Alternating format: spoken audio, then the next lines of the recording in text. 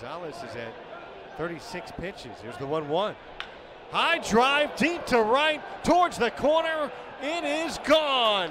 Jonathan Aranda cracks a three run homer, and the Durham Bulls take an 8 0 lead here in the top of the first inning.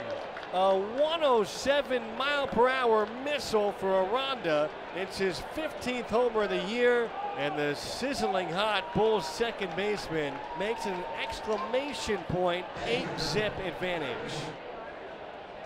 The 2 2 swing by Aranda, high fly ball to right. Uriar back, leaping. Goodbye. A solo home run for Jonathan Aranda.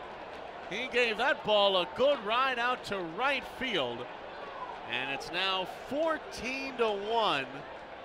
Durham on top in the top of the seventh inning. And Aranda now has three multi-homer games in the last 29 contests, the first three multi-homer games of his career, including the other day.